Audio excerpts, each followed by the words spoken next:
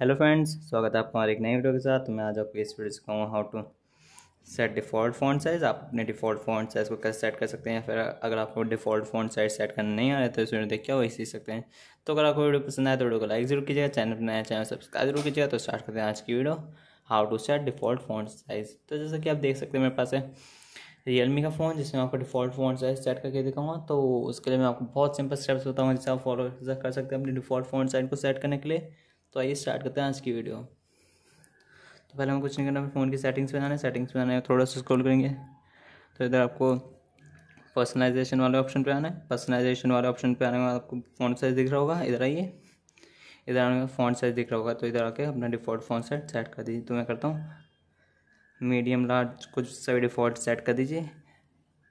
जिसमें करता हूँ मीडियम तो यूज़ इन तो अप्लाई कर देंगे। तो ये हो चुका है हमारा डिफ़ॉल्ट फॉन्ट साइट सेट तो इस तरह आप भी अपने डिफ़ॉल्ट फॉन्ट साइट को सेट कर सकते हैं। तो ये वीडियो को पसंद आए तो वीडियो को लाइक ज़रूर कीजिएगा, चैनल पर नया चैनल सब्सक्राइब ज़रूर कीजिएगा। धन्यवाद फ्रेंड्स मिलता है वीडियो के साथ।